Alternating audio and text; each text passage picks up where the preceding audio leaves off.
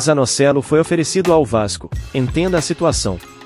Volante não quer seguir no Santos, e se antes a negociação era difícil, agora as coisas parecem mais claras para que o Cruz Maltino não precise pagar 6 milhões de euros, valor pedido anteriormente.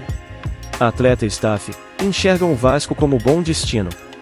Agora é ter paciência e, se o Vasco estiver disposto, a chance é grande.